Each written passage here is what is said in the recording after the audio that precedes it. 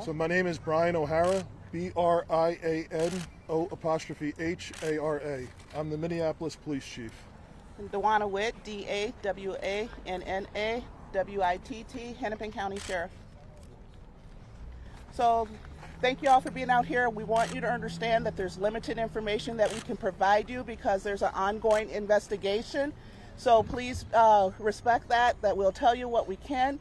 We want to, we would rather have accurate information getting out to you rather than any false narratives just for the sake of being quick with information. Okay?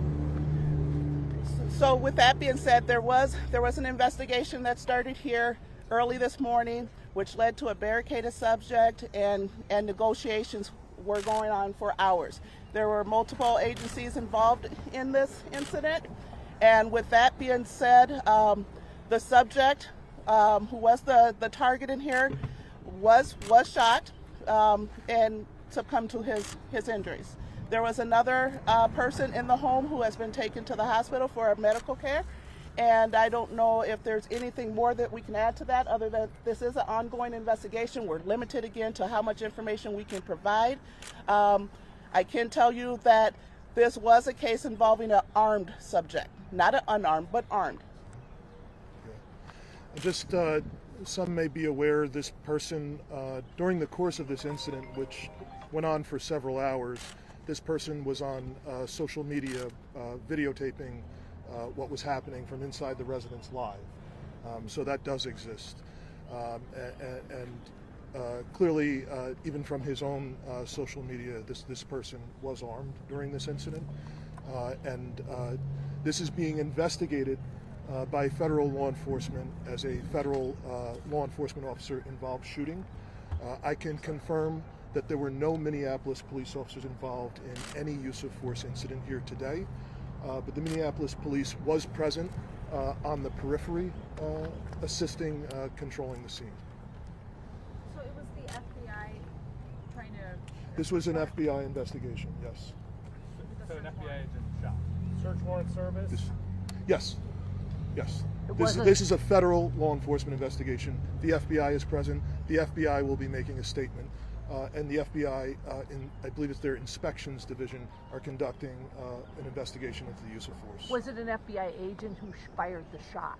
Yes, I believe so. Yes. And it was It was definitely not a Minneapolis police officer. And it was um, a warrant that It was they a were- search warrant here. that they were trying to serve on this Yes, person. for Okay. several hours. Yes. They were here since hours. about five o'clock this morning. Okay. And True for Hennepin County, nobody involved in the shooting, or, or do you know?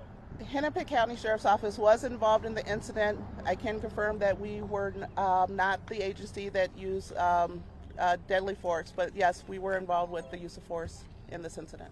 Was this by a sniper, perhaps? Don't know. we don't have that information. No, Were they wearing body cams? I don't have that information. Minneapolis police, yes. I know you guys. But I do. do not.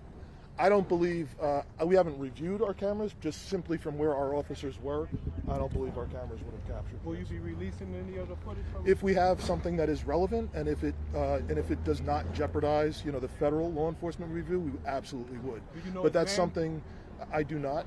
Uh, but that's something that we would do, you know, it, speaking with the FBI and the U.S. Attorney's Office before we do it. But just from where, just from where our officers were, I, I don't think it's likely. Do you know what type of warrant it was? Uh, I cannot confirm that. I haven't seen the warrant myself.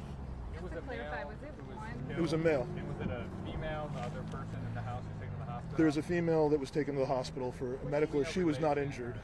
I'm sorry. Was it a relative? I do not Don't know. know the relation. Yeah, Do you know why she was put in handcuffs if she was? I don't know. I don't know if that's true, and, and um, I, I, I have no information about that. Yeah. Just to be clear, was one federal agent who I do not know that. I do not know that. No. So with that being said, that's all the information that we can have. And again, we have to be very careful with what information we release when there's an ongoing investigation involving multiple agencies. We prefer to get it right.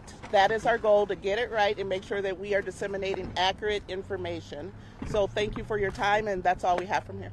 Thank you. Thank you. Thank you. Thank you, guys. So, I'm a mess. you okay? Yeah, I just lost my balance. That happened when someone Right? I'm old. Susie, you're the only one that could have fit in there. I wasn't rolling, but you You never know. I was trying to make sure at one point this wasn't falling over.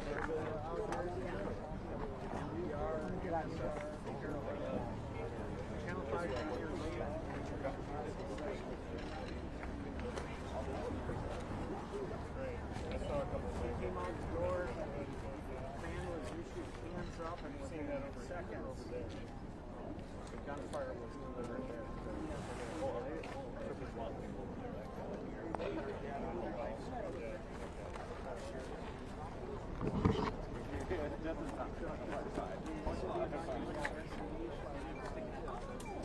Syria to